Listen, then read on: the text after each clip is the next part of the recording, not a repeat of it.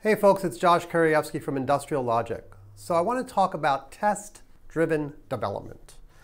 First of all, many of you may not know, in the early days, it wasn't called test-driven development. Back in the late 1990s, mid to late 1990s, it was called test-first programming. Test-first programming, okay? So it's the same idea. It just got a new name when Kent Beck wrote his book in, in uh, late 90s, early 2000s called test-driven development. Same idea, but the word test was still there. Test first or test driven, still there, test.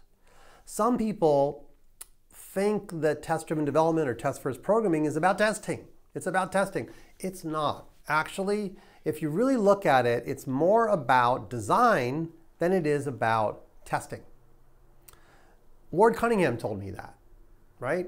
And if you've experienced it, you've, you've, if you've TDD'd something, right? You've seen it go and emerge. It starts with something very basic, very primitive, and the design emerges. You learn as you uh, use the process of what you're designing.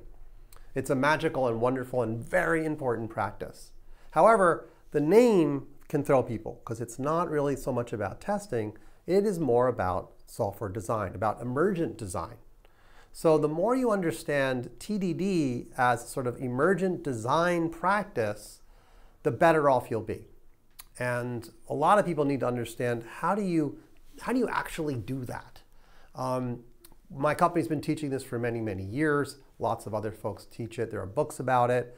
So I recommend diving into this practice because to me, test-driven development is one of the most important software development practices that has come along in the last 15 to 20 years. It is that important. We produce incredibly better software as a result of TDDing the software than we do without it.